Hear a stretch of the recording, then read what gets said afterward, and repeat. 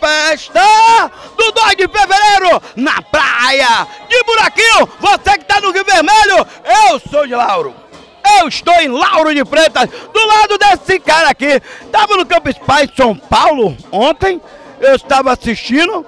Parece que pegou um jatinho, um minudinho da prefeita Mãe Magramacho, o galã, ele, o MC, o MK, o Mauro Cardim, secretário da CEPLA. E aí, secretário, veio voando, veio de paraquedas, que diabo que aconteceu? Vi você de manhã, agora tá aqui, como é que veio rapidinho, pai? Vim voando nessa busca de trazer novos horizontes, tecnologia para a cidade de Lauro de Freitas. Estivemos anteontem e ontem participando da Campus Par em São Paulo, um evento fantástico que já teve aqui em Salvador, vai ter de novo esse ano e nós fomos lá para trabalhar, para garantir o laboratório de robótica para Lagoa dos Patos e Chafariz, para garantir uma Campus Paz Day na cidade de Lauro de Freitas, que nós vamos fazer esse ano, com certeza, e diversas outras atividades que nós estamos buscando na área de, tecnologia, de tecnologia para trazer para a cidade de Lauro de Freitas e botar Lauro de Freitas de uma vez por toda no mapa do mundo. Eita! Eita! E aí, galera? É, galã, né, o Dalão? O MC de Dona Maura Cardia. Dona Maura Cardia, olha aqui, é. Tô de olho, ela tá de olho em você. Você é muito bonito, todo forte.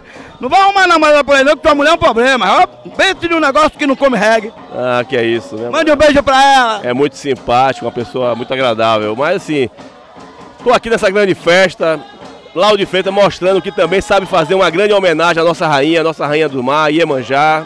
Vamos saudar essa grande guerreira que nos protege sempre. E aproveitar também para você que está nos assistindo para avisar que está vindo aí o nosso seminário para tratar o Rio Joanes. Nós vamos acabar com a poluição do Rio Joanes, vamos tratar com seriedade um problema da região metropolitana e que nós de Lauro de Freitas pagamos um preço muito caro por isso. Então nós não vamos deixar barato mais.